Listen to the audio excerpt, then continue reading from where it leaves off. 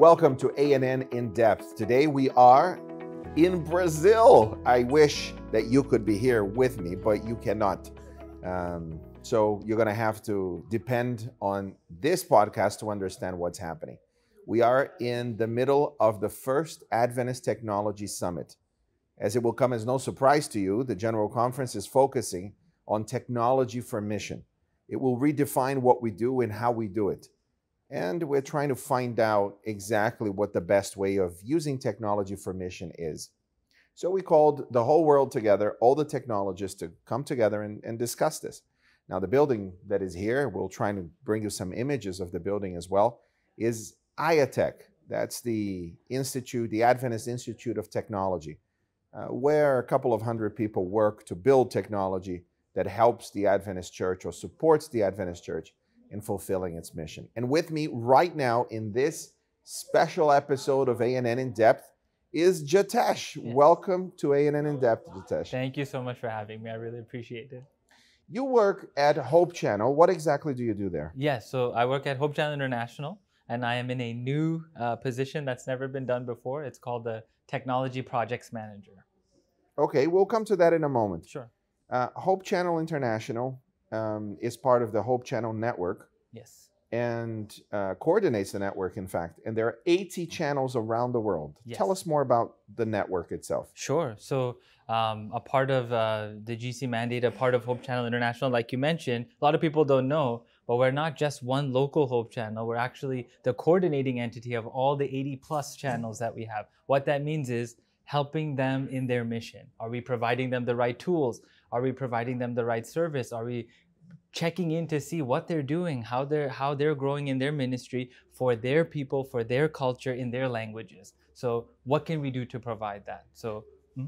And more recently, Hope Channel International has invested a lot of time and effort and resources on building technology that will help the network yes. to do their job more efficiently. Um, tell us more about that. Sure. So we were trying to find a way for many years. Um, how can we be of support, right? We're so far away.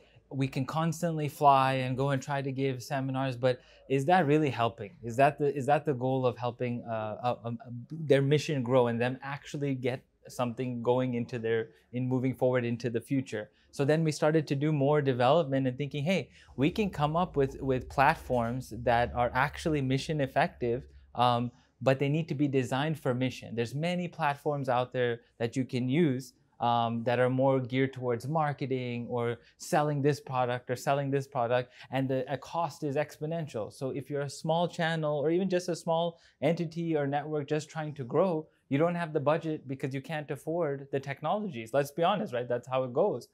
Why not create technology that's for mission?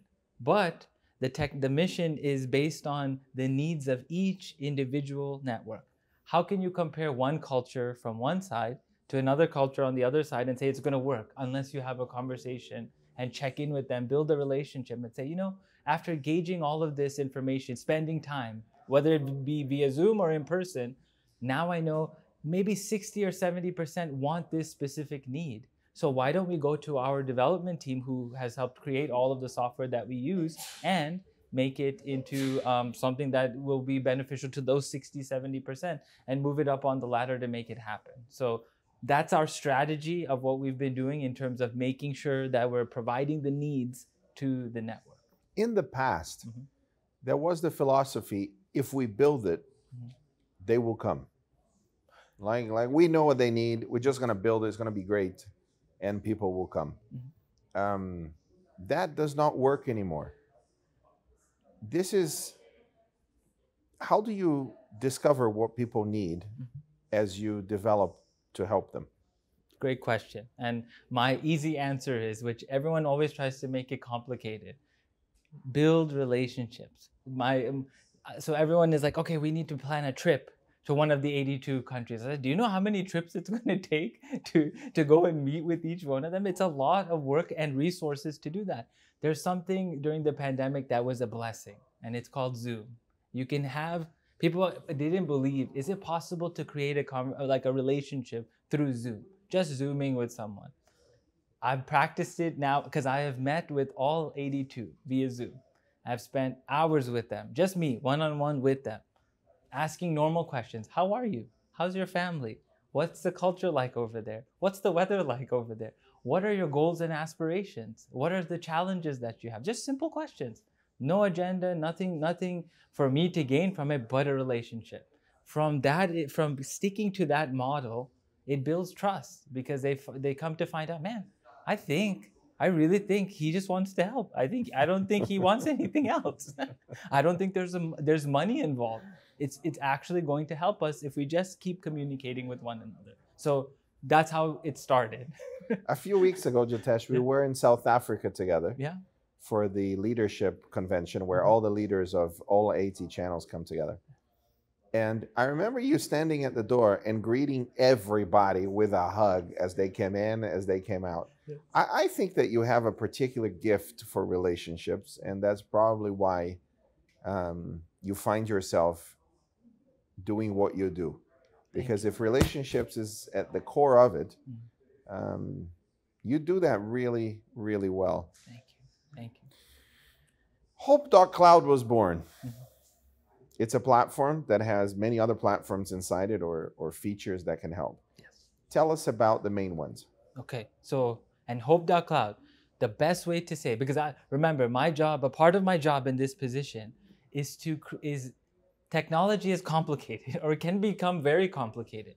My job was specifically to come in, not being a technical guy, was to make things simple, easy to understand. So because if you have a developer trying to talk to the client and trying to talk about a product, wow, it's like different languages. Even for me, it's still different languages. Even I tell them, hey guys, could you just say that in like normal words or, or spell out these acronyms because I don't know what they mean. I'm just a normal guy, you know? So they break down to, oh, for Jitesh, we need to explain what the breakdown is. That's the normal now. So, which I love because it helps me learn.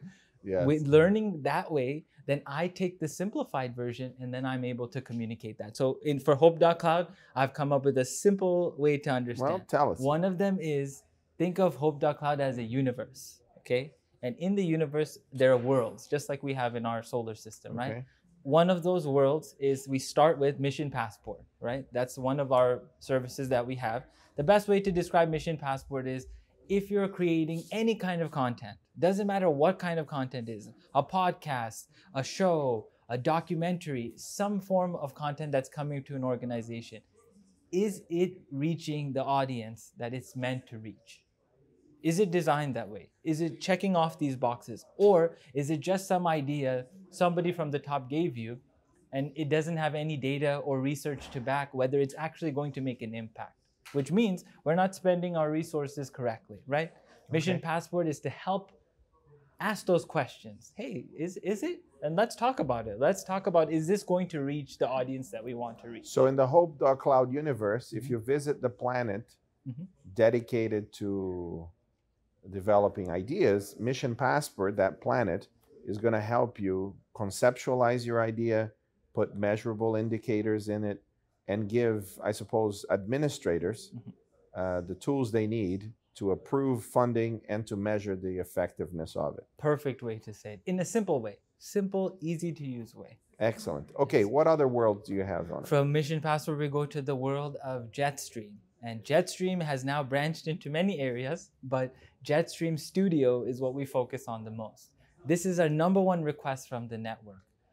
How do I how can I stream my content, whatever content it is. How do I stream it? Oh, well, we have Facebook, we have YouTube. We start building all these different platforms, and we have to start making content for each one of these platforms and having one person or multiple people to keep paying attention to all of it. It's a lot of work to do, especially if your whole team is one person or a half a person, meaning a volunteer or part time. It's difficult to do, it's hard to manage. Why can't we create something that will help them to send out that signal faster. And that's what the whole concept of Jetstream Studio came we came up with was let's create something that allows them to in less than a minute, no complications, stream on five different platforms live at the same time. So you can be on your website, you can be on Facebook, you can be on YouTube all at the same time through one place. It's a one-stop shop. You don't need to go into YouTube to check if it's working. You don't need to go into Facebook. Once it's sent Got out it. of Jetstream, it's connected. So that's Jetstream Studio. Yes. Okay, what else? We also have Jet within the Jetstream world. We have Jetstream stock. So how are where are we getting stock footage for in order to use in our ministry, right? Stock Sure. footage is very common, videos or pictures, and then man, I go and look into what it costs. It costs so much money to have this Yeah. stock footage, Yes, right? it does. we don't have the budget for it. So we're just going to avoid it and not use it and be stuck. How about we create something to help with that, where it's one place and we'll take care of the licensing for you. And all you have to do, sign up and you get access to that. And let's take it a step further. Let's incorporate Adventist um, stock footage, Adventist gear, because we're let's face it, we're Adventists, right? We're gonna need yes, yes. Adventist footage. That's where Adventist exchange, media exchange came into into play and they're integrated into Jetstream stock. So it's not just one uh, stock footage area, you're getting multiple in one space, one stop shop. You don't need to go anywhere else to do it. When I first heard about this, Mm-hmm. uh, Hope Channel was asking that uh, GC Communication, where I work, Mhm. that we partner with Hope Channel, Yeah. and and I, I I knew also that Adventist World Radio was partnering Mm-hmm. to provide to their uh, studio managers and producers Yes. uh, the opportunity to have top quality stock, and it's not cheap. Nope. But we jumped at the chance, and this is a phenomenal way of collaborating to allow the creatives around the world to create great content Absolutely. uh, using. and we're we are practicing Sam synergy, right? That's right. You're using this word constantly. Where, where's Yeah. the proof of this synergy? This is So one of this them. is it right here. Yeah. We, we are so thankful you were able to just jump on. You didn't even hesitate. What do you need? That's right. Let's make this happen. We're all on the same team. Let's work together. It was a very quick conversation. Wonderful, amazing conversation. Quick. Okay, what other planets are there? So from the jet stream planet, we move to um, what we call um our website and apps. So that's more geared towards Hope Channel, but it's a very important, right? Because you want to stream this footage or you want to have a place where your content is consumed. I don't have a, I don't have a website. You'd be surprised. You'd think, oh, everybody has websites. It's easy to get a website. It's actually more difficult. Just getting a website is half the battle, maybe not even half, 20%. Having someone to run it, customize it, Sure. make it easy to uh, understand, be able to have the content, make it appealing. It's a lot of work to do, especially if you don't have knowledge or the resources for it. What we came up with is our own website template that you say, hey, I need a website. We're happy to help you with that. All you need to do is go, we'll give you a quick demo. You join the website and we'll change it to fix everything for you, for your area, and all the templates and everything is built out. You can even change the front facing portion of it, which you don't have to get into the back end and no coding and all this, just simple stuff. And events coming up, you can move that event to the top of your page so that people know, hey, this is what's coming up. You don't need to go and talk to a developer to do that. So the website is easy for them to adopt, no issues in, in making it look beautiful and for their culture, Sure. right? The other one is the app, same exact format. Apps design is already there. You just say you need it and you have an app with all the right templates, all the right branding, and it has your name on it and has all your content on it. You can upload that to whatever platform you want. Anyone you want. Yes. That's really cool. I didn't know about the web and app thing. yes. Nice. Then the last one in there, the last world, I have to finish because we're almost done with the world. So the last one is hope.study. So hope.study is the final world that we've been working on. And our goal there was to create a beautiful, interactive Bible study. Sounds easy, right? Sounds, hey, must be there must be plenty of those out there. In reality, there are not actually. It's um we there are Bible platforms out there, but are, is there one that you create every ounce of it, every detail of it to be what you want it to be? Like every ounce means you can get your graphic designer and they would have the best experience on there because yes, yes. they get to use all of their skills in creating a very beautiful, interactive, it feels like you're talking to somebody platform. The idea of Hope.study is to also create a follow up process. So once the Bible study course is easy to click on, what's the follow up? Is building a relationship with that person. So there's something called the mentor app that we've created, or mentor process, where you have a real person that connects with you after you finish that and chats with you, has a conversation with you, Mhm. and maybe in that conversation says, "Hey, we have a small group that meets once a week. if you'd like to join, you know, we are happy to have you. So the idea is to not just have a Bible study, but have a church, have a group, have an organization built behind it to support it. So it becomes a digital person into a real person that you have a relationship with. Sure. Yeah. Jitesh, Mhm. what's next for for in your view as you interact with various hope channels everywhere? Yeah. Um, what's next for the interaction that you have with the channels that are small? Mhm. How do you think what you are developing at Hope Channel International based on their needs Mhm. as they adopted, Mhm. what change do you think it will really make for them? Great question, Sam. And I, I, in fact, I, I wish I could just show you all the success stories of these small channels. I have all of them where just adopting one. Uh, one of them is um, Malawi, Hope Channel Malawi, small small country and small team, and they were have they are a brilliant team, just great level. But the technology was limiting them, you know, with their resources that they have there. I was able to give them a Jetstream demo, which was the streaming platform services and media library where they can store their content as well. Once I trained them and used them, right, they they got a demo, they started using it. The first email we got back for them was Jitesh, uh, Jetstream Studio has changed our lives. It, it is, we can never be the same again. And it's all because of Jetstream Studio. So whatever limitations they had, they were able to do. They even helped us to create new ways of using it because they wanted to use it in very creative ways like, Jitesh, we want to go live through the studio from on site. But I don't know how we you do that. I'm not the tech side of it. I understood the problem, talked to our development team. Because we have that ability to do that, we developed the process for them to be on site and be able to relay that to the studio and then relay that on their satellite. So it was a new feature we came up with because of their need. They were just communicating and made it happen. So for them, once that happened, they said we can do anything now. We don't feel limited at all by mission. We actually feel hopeful that we can do more and more as we move forward. Fantastic. Jitesh, thank you very much for joining us at ANN In Depth. Thank you, Sam, for having me. And thank you for listening so far or watching this on YouTube.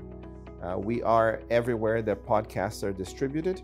And if you're watching this on YouTube, then you can also comment uh, under this video with whatever question you want to ask Jitesh. He will be there answering those questions as well.